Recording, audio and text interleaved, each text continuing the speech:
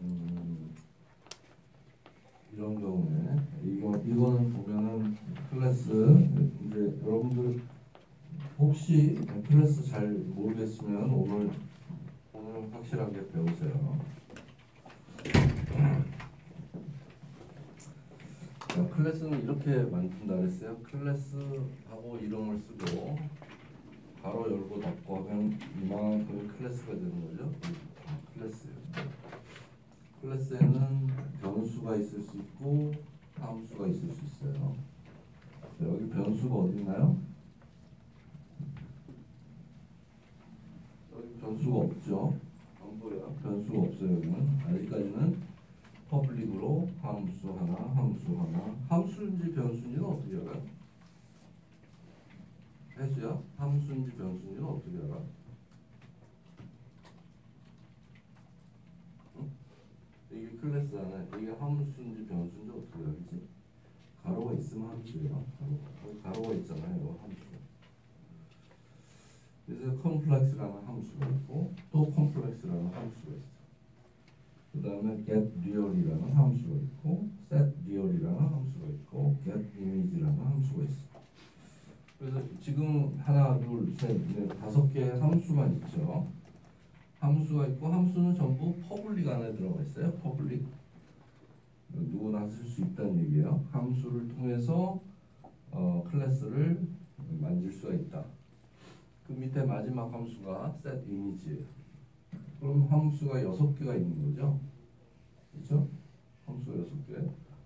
보세요. 여기 하나, 둘, 셋, 넷, 다섯, 여섯 이렇게 해서 여섯 개예요. 아, 함수가 여섯 개가 있고 그 다음에 변수를 보니까 변수는 괄호가 없는 거니까 여기 보면 real이라는 변수가 있고 real이라는 변수가 있고 image라는 변수가 있어요.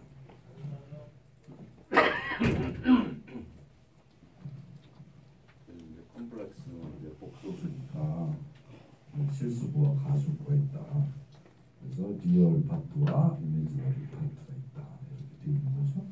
그래서 이건 이제 real 파 real image라는 건 두 개의 변수고 나머지 여섯 개는 다 함수야.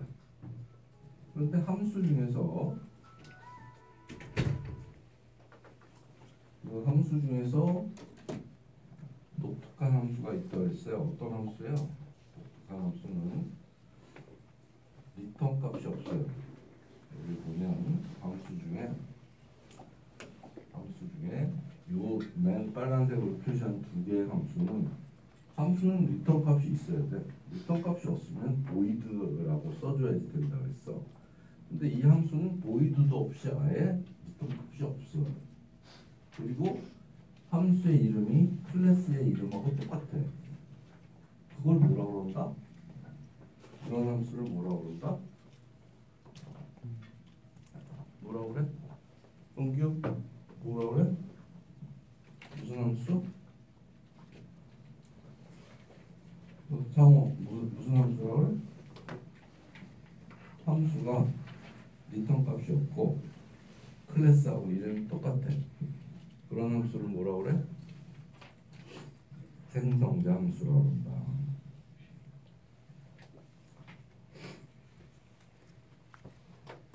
생성자 함수. 생성자 함수는 그런 독특한 모양새를 가지고 있어. 클래스와 이름이 똑같고 리턴 값이 없어. 생성자 함수는 말 그대로 독특하게도 우리가 함수는 호출해서 쓰잖아요. 얘는 호출하지 않는다. 자동으로 실행이 돼. 언제 실행이 될까? 객체가 생성될 때 자동으로 실행된다. 그래서 생성자 함수라고 한다. 알겠어? 음. 여태까지 몰랐어도 지금 알아두면 돼요. 자, 클래스 안에는 자 한번 정리해 볼까? 자 클래스 안에는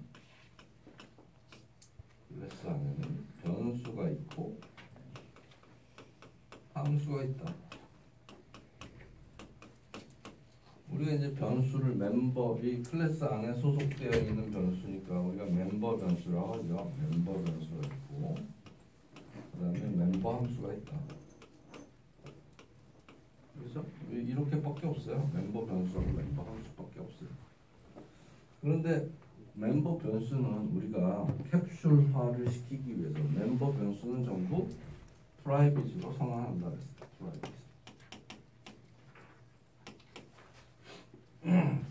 얘는 public이잖아요. 이 뒷페이지에 보면 private으로 돼 있잖아요. 변수는 private으로 선언한다. 함수는 전부 멤버 함수는 멤버 함수를 다른 말로 뭐라고 그런다 그랬어? 메소드라고 한다 그랬어. 메소드. 메소드라고 하는데 이 메소드를 퍼블릭으로 만들었습니다.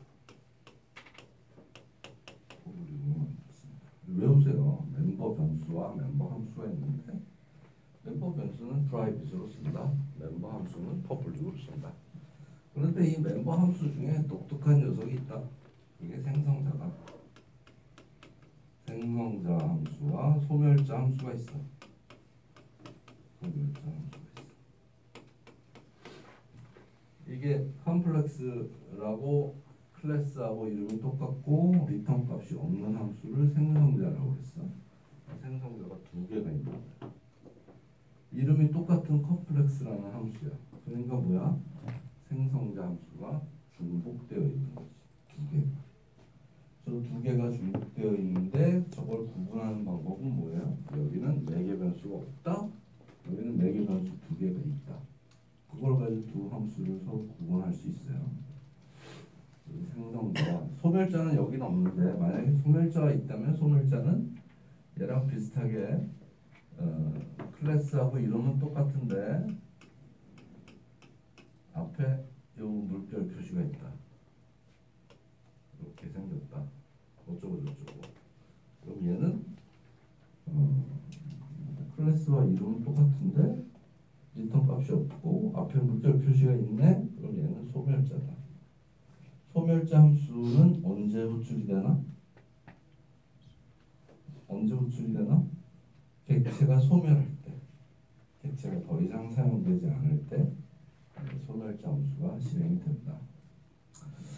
그렇게 했어요. 자, 이게 이, 게 이제 우리 클래스에서 배운 것들 중 정리하면 그렇게 돼요.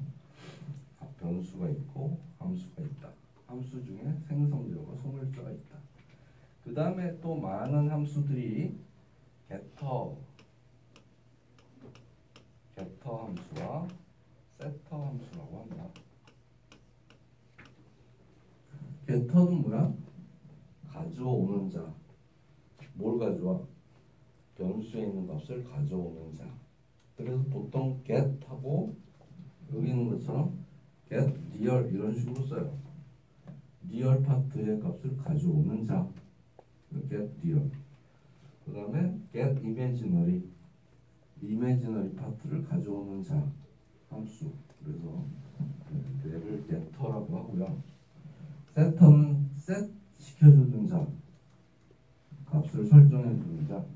그래서 set real, set imaginary 이렇게 되겠죠.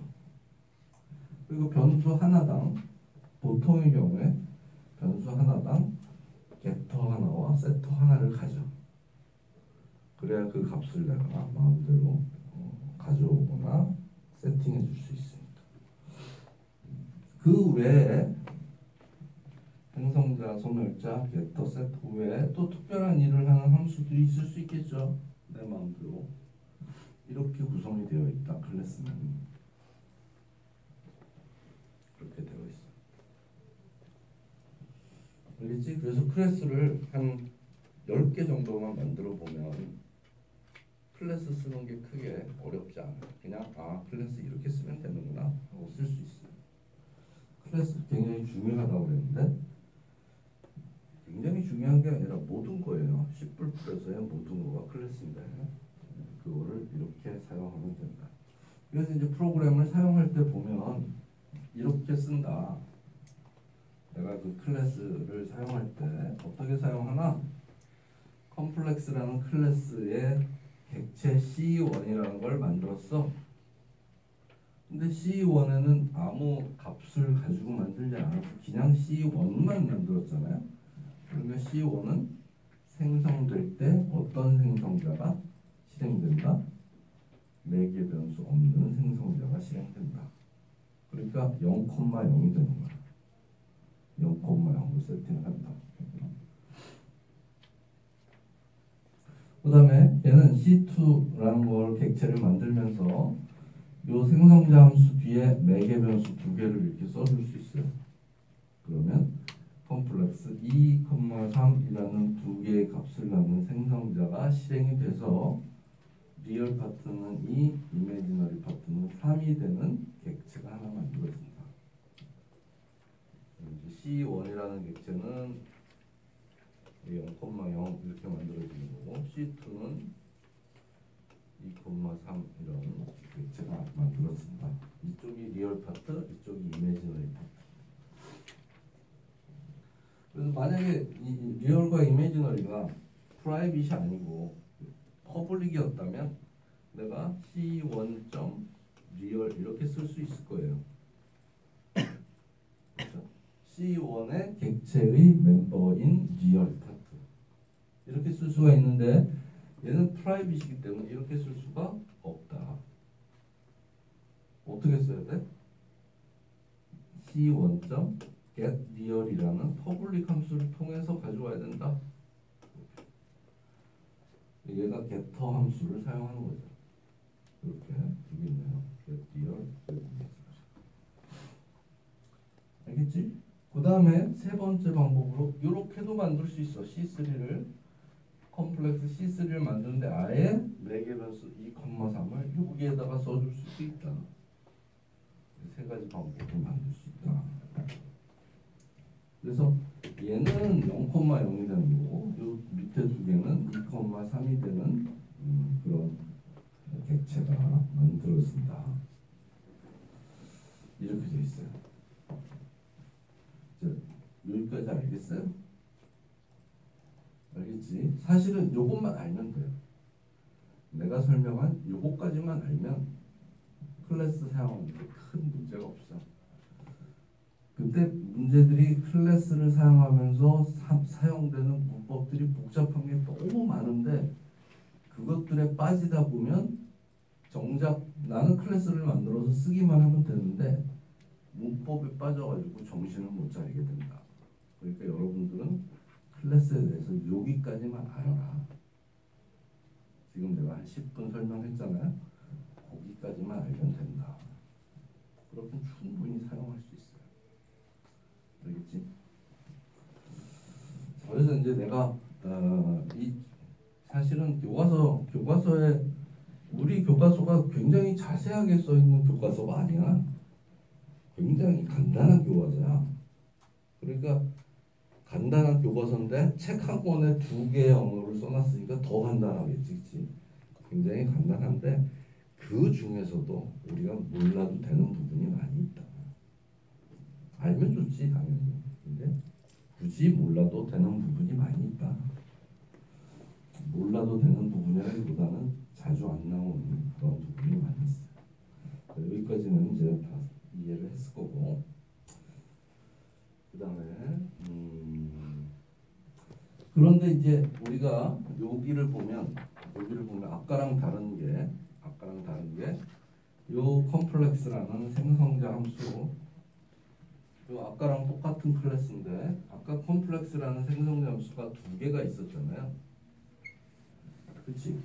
두 개가 있어서 하나는 매개 변수가 없는 컴플렉스, 하나는 매개 변수 두 개가 있는 컴플렉스 이렇게 두 개가 있었는데 그 두 개를 하나로 합칠 수도 있겠네.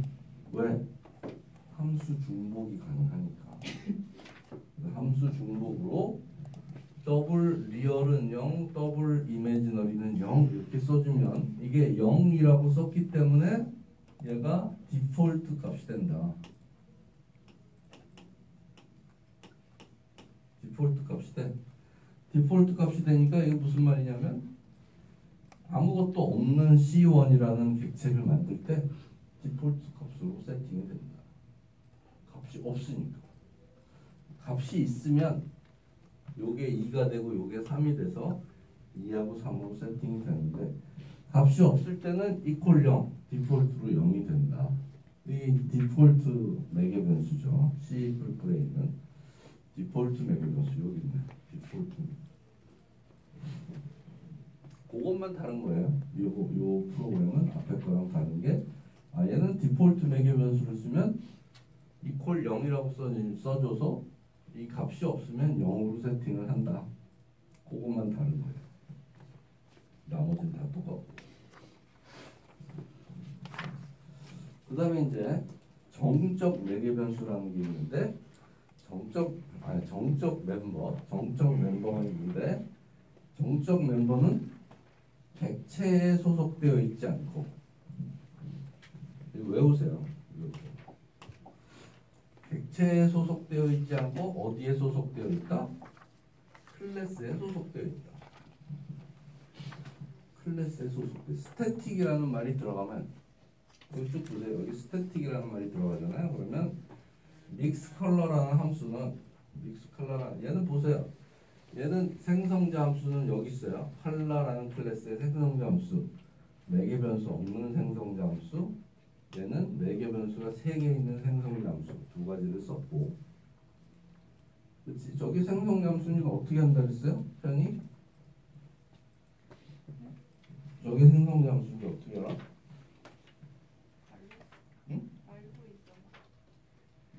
무시?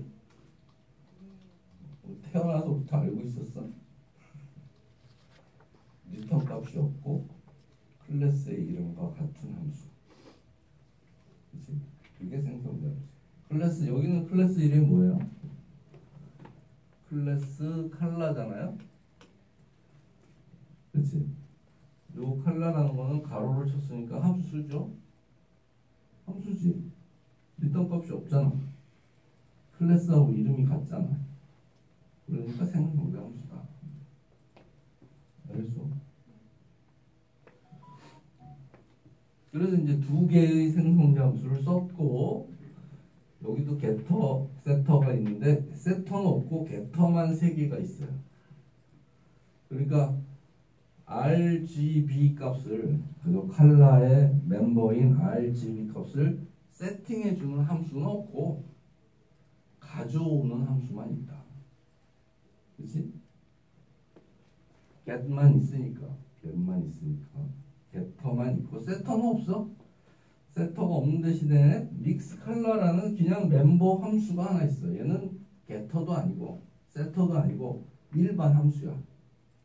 일반 멤버 함수인데 어떤 짓을 하냐면 칼라 두 개의 칼라를 섞어서 R 값을 2분의 1, G 값을 2분의 1, 그 다음에 B 값을 RGB 값을 각각 더해서 2분의 1로 나눴으니까 평균 값으로 세팅을 해준다는 얘기야. 그렇죠? 그래서 A와 B 색깔을 섞어준다 라는 의미로 믹스 칼라스라는 함수를 만들었는데 얘는 칼라를 리턴해줘. 칼라가 이 클래스잖아.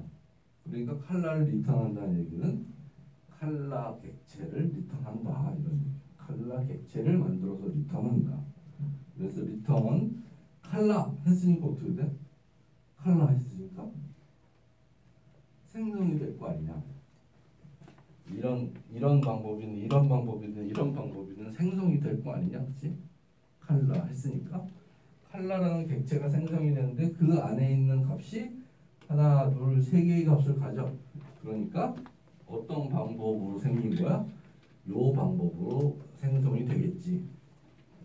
요 방법으로 생성이 되는데 RGB 값이 A와 B R 값의 반, 절반으로 섞어준 색깔이 난다. 그래서 믹스 컬러라고 이런 함수를 만들었어요. 그런데 그걸 얘를 static이라는 말이 앞에 붙었어. mix color라는 함수가 있어서 만들었는데 그거 만들어서 좋아. 좋은데 쟤가 static이라는 말이 붙었어. 그러면 그때서부터는 얘는 객체의 소속이 아니고 클래스의 소속이 돼. 그러니까 사용할 때 어떻게 써야 돼? 칼라 클래스의 콜론 콜론 믹스 칼라라는 함수 이렇게 써야 된다. 스태틱이 없었다면 어떻게 쓸 수 있었다? 스태틱이 없었다면 어떻게 쓸 수 있었다? A점 객체에 믹스 칼라스 그 다음에 어쩌고 저쩌고 이렇게 썼겠지. 무슨 말인지 알겠죠? 그러면 A라는 객체의 믹스 칼라 한 값을 가져와서 그 초기화 시켜주는 그런 객체가 될 텐데 생각을 해보면 mix color라는 게 두 색깔을 섞어서 새로운 컬러를 만드는 거니까 그게 무슨 객, 그 색깔이라는 객체가 수- 가지고 있을 필요가 없어. 칼라라는 클래스가 가지고 돼. 그래서 칼라라는 클래스에 있는 색깔 성분 함수로 red와 blue를 섞어서 purple이라는 걸 만들었다. 저럴 때 쓰는 게 static이다. 정적 멤버. 쟤는 객체로 사용하는 게 아니라 객체. 객체. 예를 들면 red 점 mix colors 이렇게 쓰는 게 아니라 칼라라는 클래스에 콜론 콜론 한 다음에 함수 이름을 쓴다. static 함수, 정적 함수. 알겠죠? 요거는 이제 조금 고급스러운 내용이죠. 저렇게도 쓸 수 있구나. 저렇게도 쓸 수 있어. 요거 좋은 예야. 요거 좋은 예다. 알겠죠?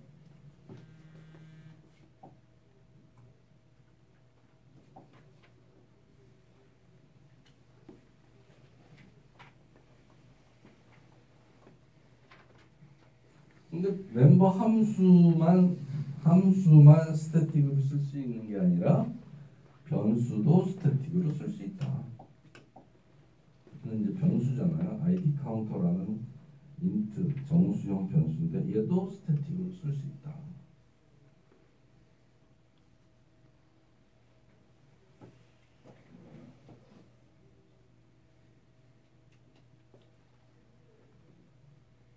그래서 여기서 보면 칼라가 생성이 되면서 이렇게 생성이 되든 이렇게 생성이 되든 칼라가 생성이 되면서 ID 카운터는 하나 증가된다 이런 ID 카운터가 하나 증가된다.